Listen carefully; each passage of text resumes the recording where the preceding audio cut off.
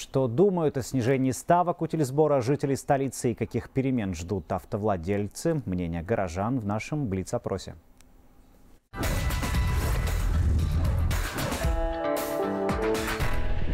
Ну хорошо было бы. Почему? Ну, машины подешевели бы. Ну и все, потому что все привязано к утилизбору. Даже без понятия, что она может повлиять, на что может повлиять. Думаю, это хорошо. Будут покупать свежие машины, рынок обновится. Будут все на более хороших машинах ездить. Ну, 50% мне кажется, это мало будет. Очень мало.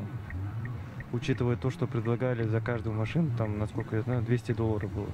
Ну, это приемлемая цена. Это классно. Я поддерживаю. Ну, хорошая новость. Почему хорошая? Потому что машины подешевеют.